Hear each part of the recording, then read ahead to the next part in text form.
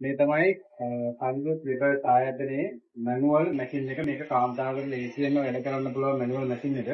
මේකේ 175000 පැකේජ් එකට අයිති වෙන මේ කටින් මැෂින් එකයි. මෙතන තියෙනවා රවුටර් මැෂින් එක. එතකොට පටිදාන එක, ඒ වගේම තෙරපු කපන්න ගන්න මේ හැඩ කපන අච්චු 20ක් හම්බ වෙනවා.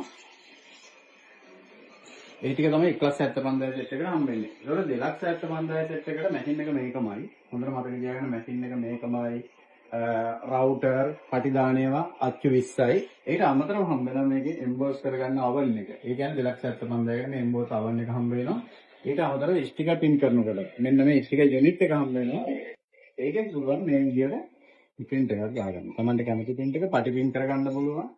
මේ emboss unit එක භාවිත කරලා මේ විදියට පුළුවන් emboss කරගන්න. මේ හැඩතල තියෙන අච්චු 10ක් අපි මේ මැෂින් පද්ධතියත් එක්ක දෙනවා.